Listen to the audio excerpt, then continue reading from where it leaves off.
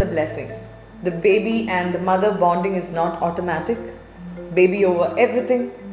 Then uh, people say breastfeeding is easy, but no, it's really hard. Sometimes it's very painful. And uh, even your own breathing can wake up your baby sometimes. She's sleeping right now, so I have to. you have subscribed to almost all the newsletters that every mother could possibly reach out to. Sleeping is not an option, and bathroom breaks are something that I really look forward to nowadays.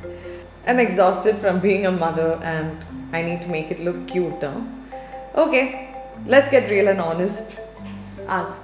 Are you a morning person or a night person? I'm a mom person because she decides when I sleep and when I wake up. Yeah. What is your recipe for a cold coffee? So basically, you make a normal hot coffee. Uh, then by the time you drink it, it'll become cold. So that's how you make cold coffee. Any self care tips?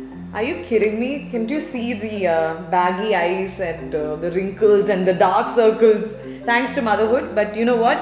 You will be surprised because I do find time uh, to take care of myself at night.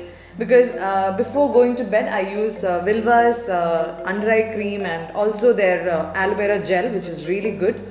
So I use this just before bedtime and it's really effective. It's uh, brought down my under eye circles. I could see a lot of change.